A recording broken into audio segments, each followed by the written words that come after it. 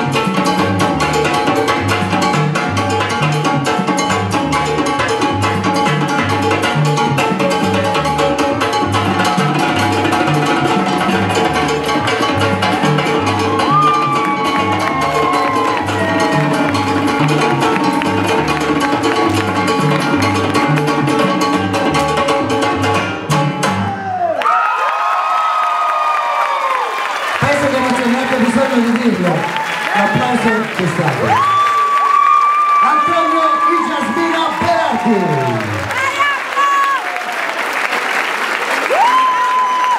la prima volta in Puglia e non potevano che essere con noi nella gozzatura.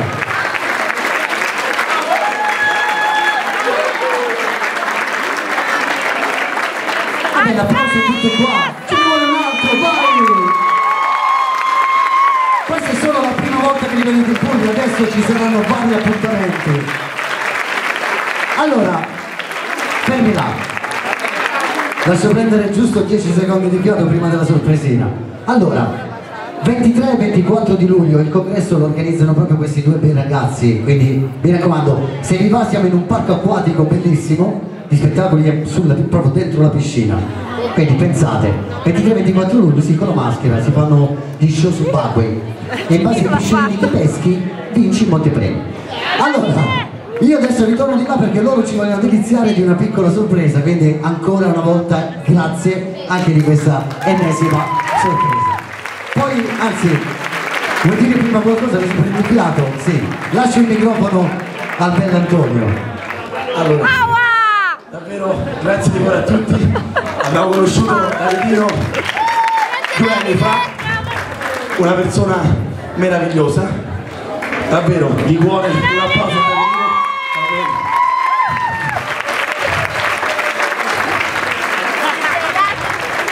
Ovviamente per creare un ambiente del genere, per unire delle scuole della stessa zona, poteva farlo solo una persona meravigliosa con gli attributi sotto. Quindi davvero Davidino mi diceva quando vedete in Puglia vedrete un'accoglienza meravigliosa me l'aspettavo ma non fino a questo punto quindi davvero grazie di cuore grazie di cuore a tutti i colleghi Maria e Puranza Gomez, Vincenzo Analisa che ci hanno ospitato oggi, Leonardo Scuola, la nostra unica donna con balaio power e poi se permetti Davide e Yasmina volevamo dedicare questo, questo ballo ad una persona molto speciale che è in mezzo, in mezzo a noi oggi, lei sa con chi sto parlando quindi il nostro show è stato dedicato interamente a lei, quindi lei sa, lei sa che... È. Un applauso. Grazie. Allora, quindi io ritorno in regia, facciamo una piccola sorpresina, così poi improvvisata, giusto? Quando vuoi tu mi fai segno e ti diamo qua.